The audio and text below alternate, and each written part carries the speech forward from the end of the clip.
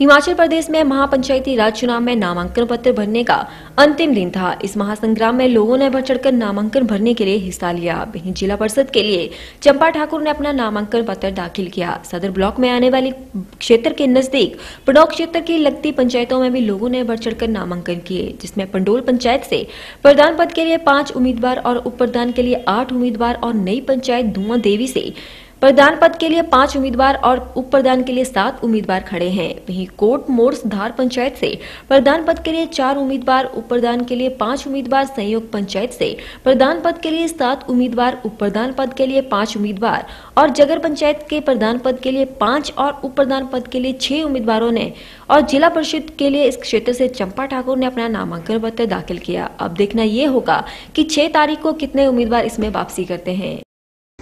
ये चुनाव लोकतांत्रिक होते हैं। इसमें कोई पार्टी सिंबल पे कोई पंचायती राज के चुनाव नहीं होते हैं। पिछली बार भी हमें यहाँ से काफ़ी अच्छा समर्थन मिला था। आगे भी मुझे पूरा विश्वास है कि ये जो हमारा एरिया है, ये जो हमारी बारह पंचायतें हैं, मैं डोर टू डोर बारह की बारह पंचायतों में जाके आई। लोगों का एक आवाज़ है।